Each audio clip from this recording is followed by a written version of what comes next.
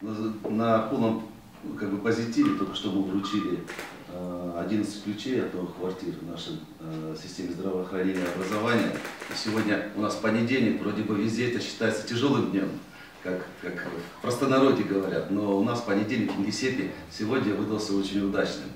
Новые квартиры э, в системе здравоохранения и образования, э, счастливые семьи с детишками побежали сейчас смотреть квартиры.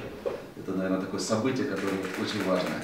Но и очень важно, что у нас на территории Кингисеппского муниципального района продолжаются наши традиции, которые, слава богу, сложились за прошлые пять лет.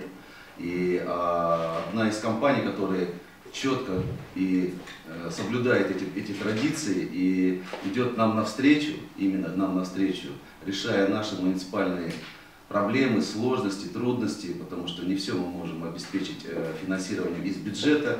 И с компанией Новотек мне приятно подписать очередное соглашение, э, которое также направлено на э, вот те нужды, которые, которые муниципалитету сегодня явно не решить. Просто вот реально, если бы, если бы не компания Новотек, мы в этом году, наверное, гораздо позже бы открыли бы наш Дом культуры после капитального ремонта. Потому что у нас сегодня не хватает катастрофически денег на приобретение оборудования, обеспечить все, звук, свет на сцене, уже установлены кресла. И э, Дмитрий Валерьевич пошел навстречу, и именно я согласовался с ним, что часть денег из соглашения, помимо того, что они будут направлены на другие нужды, очень важные тоже в районе, будет, будут потрачены на приобретение вот этого всего оборудования. Я надеюсь, мы вместе э, откроем потом зал, я думаю, что через некоторое время пройдут конкурсные процедуры после подписания соглашения поступления денег в бюджет. Пройдут конкурсные процедуры, и мы приобретем оборудование, и его все установим.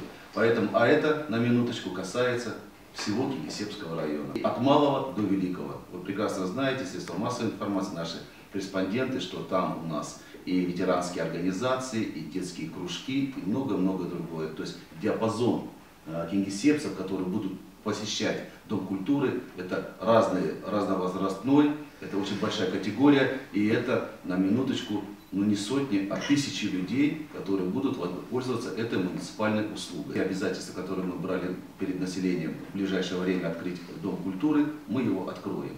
И я очень надеюсь, сегодня про, я проинформировал э, службу губернатора, о том, что подписывается данное соглашение, и как раз был согласовывался день приезда губернатора э, в Кингисеппский район.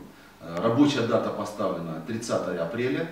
Если у губернатора на эту дату к, к, к тому времени не возникнут непредвиденные обстоятельства, Александр Юрьевич Дрозденко будет у нас, и мы надеемся вместе откроем это, вот, наш Дом культуры. Ну, именно в таком виде чуть более небольшом оно началось на год раньше, э, разовыми там, двумя мероприятиями, ну, не стоит их сейчас упоминать. Э, также хотел добавить, что наше сотрудничество это не какая-то э, небольшая акция, это мы действуем в рамках социально-экономического партнерства, которое Новотек во всех регионах, где присутствует на территории Российской Федерации, старается э, проводить такую политику сотрудничества с местными властями. Мы считаем, такая помощь своевременная, она всегда очень важна и существенна, поможет действительно ввести в эксплуатацию новый построенный дом культуры, ну и в том числе наши сотрудники, проживающие, проживающие на территории Кингисеппского района, смогут детей своих отводить, сами пользоваться этим. В общем, я думаю, что это общее благо, общее достижение, мы рады в этом участвовать.